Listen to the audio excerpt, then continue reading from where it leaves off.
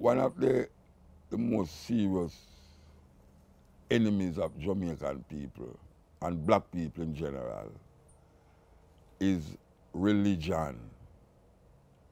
Religion has devastated the minds of African people in illusion.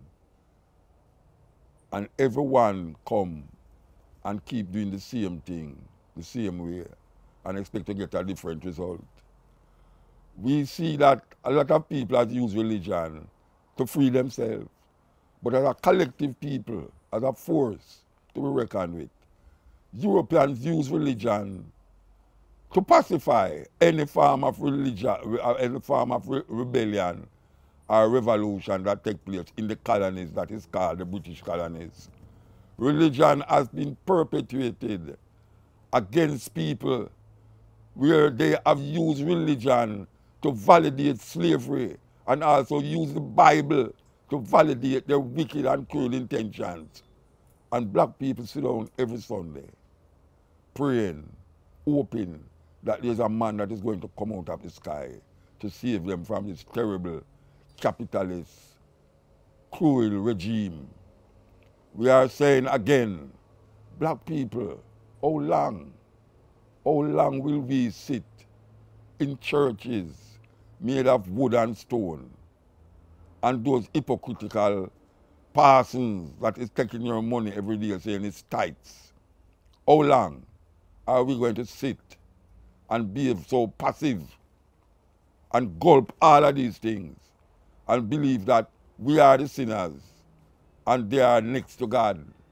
Because when we perceive God, no care how you're conscious, if you shut your eye and close your eye and think upon Jesus, most of the time it's a white man, you see.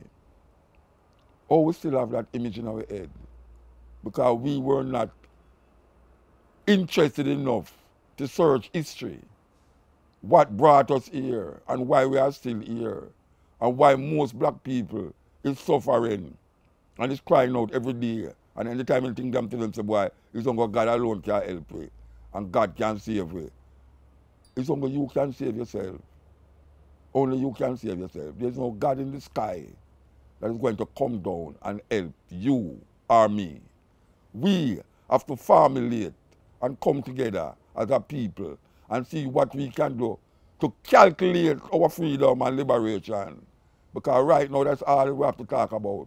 Freedom and liberation. Because if one man is free, because you have people say, well, slavery gone a long time and see them have a job and everything. Look here. If one man is free and the others are not free, no man can really say that him free. Because the freedom of one is dependent on the freedom of all. And what our ancestors fought for, like Marcus Garvey, Kwame Nkrumah, Jomo Kenyatta, and all the people that might come forward, is the liberation of African people, no matter where them is. And we must take up that mantle because freedom don't come yet. We may, can have certain things now and privilege to do certain things now, but the majority of African people still find themselves in the walla and the squalor where our ancestors was, were when they run off of the plantation and things of them free. And we have to quote a woman by the name of Harriet Tubman. Harriet Tubman said,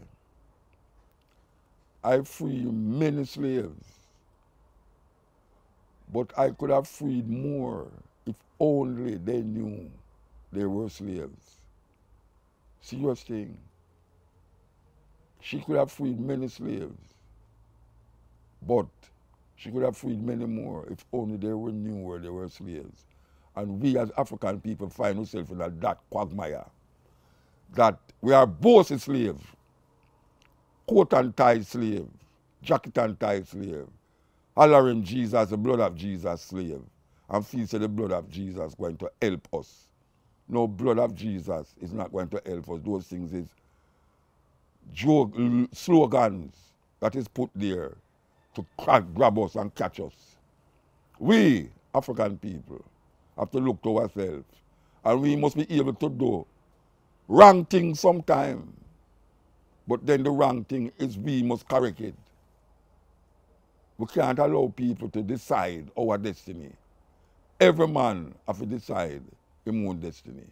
Irie. Well, let me hear you say, Mount